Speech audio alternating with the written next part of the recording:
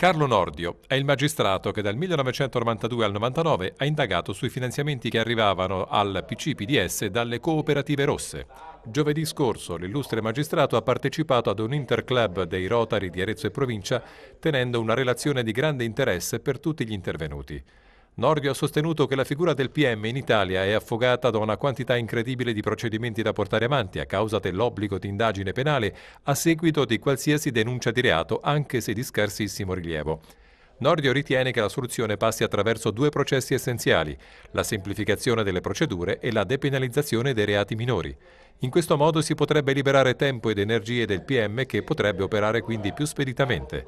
A seguito dei numerosi e interessanti interventi e domande da parte dei soci rotariani presenti, Nordio ha concluso che siamo di fronte forse ad un eh, atteggiamento di pericolosa indifferenza da parte della società civile.